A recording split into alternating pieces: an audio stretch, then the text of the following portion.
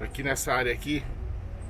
As construções aí, a gente que conhece São Luís do Maranhão, tudo isso aqui, tudo construído pelos jesuítas. Olha só essa grade aqui do museu. Tinha grade de uma janela. Olha só. O que que era. Coisa de primeira. Resistente. Tudo construído pelos jesuítas.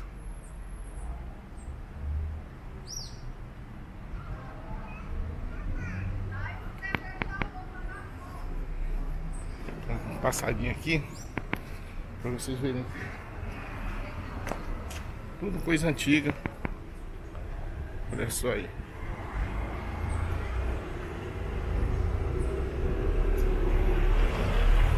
É, provavelmente tudo feito à base de óleo de baleia com as portas.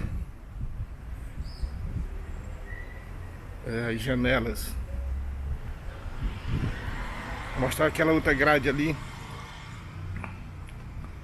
Então, uma gataria aqui.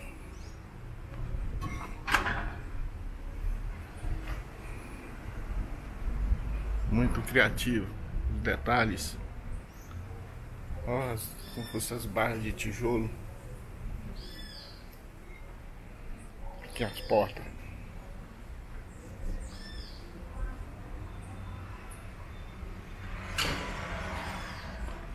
Aqui a janela.